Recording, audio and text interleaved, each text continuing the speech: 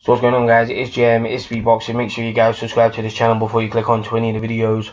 Also comment below in the comment section if you guys have any opinions on what I'm saying in any of the videos. Like always, it's appreciated if you guys could drop me a quick sub or two on my channel. So, Dillian Whyte will be back in action on August the 19th on the Terence Crawford, Julius Indongo undisputed title fight undercard. He will be in an eight round fight against Michael Grant, a 44 year old American heavyweight fighter Michael Grant most famous fight was against Lennox Lewis in 2000 and he was destroyed in two rounds by Lennox Lewis.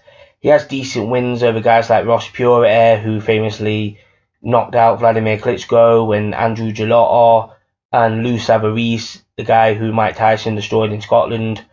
So yeah, Michael Grant was a fringe heavyweight contender back in his day.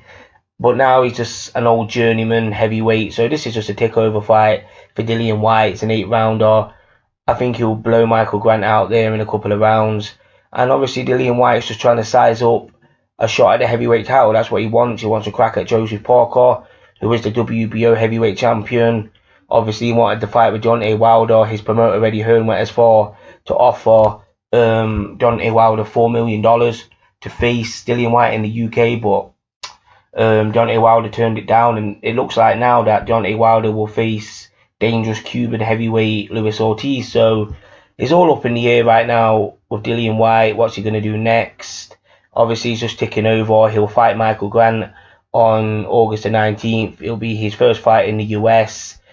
Um, he'll get a little bit of exposure in the States, and it's just one of them fights to shake the rust off because he hasn't fought since his victory over Derek Chisora in 2016, December 2016, on the Anthony Joshua Eric Molina undercard. So it is what it is. You can't really be too mad at the opponent because it's just an eight round tick over fight. It is what it is. Comment below in the comment section. It's JM, it's Speedbox.